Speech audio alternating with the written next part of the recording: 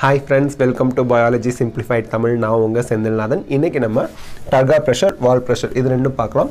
டர்கார் pressure அப்படிங்கிறது pressure exerted on the wall by the water so water செல்லுக்குள்ளே போய் water அந்த செல் வாலில் வெளிப்படுத்துகிற ப்ரெஷரை டர்கார் ப்ரெஷர்மோ அதாவது ஒரு புரோட்டோபிளாசம் செல் வாலில் புரோட்டோபிளாசம் அப்படிங்கிறது சைட்டோபிளாசம் ப்ளஸ் நியூக்ளியஸை தான் புரோட்டோபிளாசமோ புரோட்டோபிளாசம் செல் வாலில் வெளிப்படுத்துகிற ப்ரெஷரை ப்ரெஷர் பொட்டன்ஷியல்மோ டர்கார் ப்ரெஷர்னாலும் ப்ரெஷர் பொட்டன்ஷியல்னாலும் ஒன்று தான் டோன்ட் ஃபர்கெட் ஸோ ஒரு செல்லுக்குள்ளே வாட்டர் உள்ளே போயாச்சு.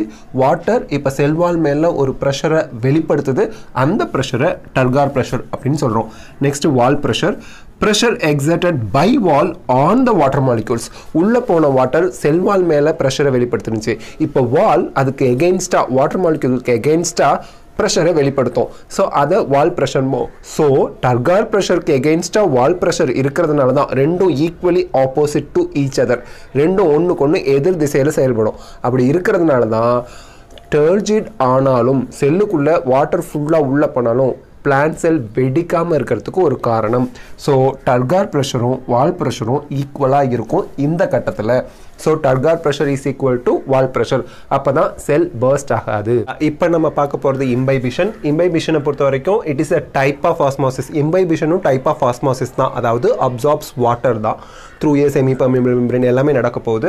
Types of osmosis but it requires and absorbent ஒரு மெட்டீரியல் வாட்டரை அப்சார்ப் பண்ணுறதுக்கு ஒரு மெட்டீரியல் தேவை.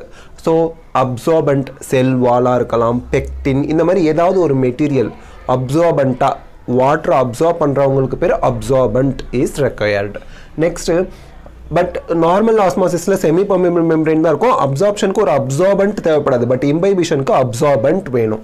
நெக்ஸ்ட் அப்சார்ப்ஷன் ஆஃப் வாட்டர் இங்கே வாட்டர் அப்சார்ப்ஷன் நடக்குது. ஆனால் without formation of solution solution form ஆகாது. Very important one next it is water is absorbed on the surface only உள்ள ஊடுருவி செல்லுக்குள்ளே போக போகிறதில்ல செல்லோட சர்ஃபேஸில் மட்டும் வாட்டர் அப்சார்ப்ஷன் நடக்குது. That is imbibition next imbibition pressure swollen cells swollen cell produce large amount of pressure so water absorb பண்ணியாச்சு சர்ஃபேஸில் இப்போ செல்லு வந்து அதிகமான ப்ரெஷரை வெளிப்படுத்துது. எக்ஸாம்பிளுக்கு ட்ரைடு பீஸ் இம்பைபிஷன் நடந்ததுக்கப்புறம் தௌசண்ட் அட்மாஸ்பியர் வரைக்கும் ப்ரெஷரை ரிலீஸ் பண்ணும். அந்த ப்ரெஷர் பாறைகளை பிரேக் பண்ணி சாயில் ஃபார்மேஷனுக்கு ஹெல்ப் பண்ணுற அளவுக்கு அதிகமாக இருக்கும்.